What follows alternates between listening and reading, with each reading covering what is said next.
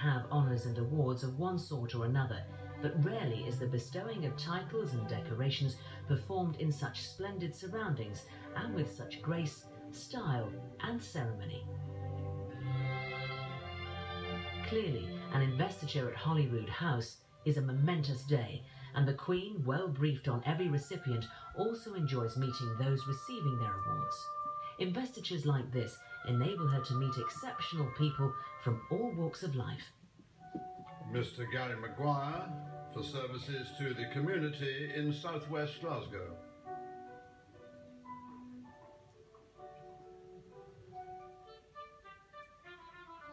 Investitures are traditional. And I'm, I'm always absolutely fascinated by the people who come and all the things that they, they've done. One mustn't have a long conversation, obviously, because you never, never finish. The question you ask is what is your hope that you're going to, to, to get the, the, the answer that you want.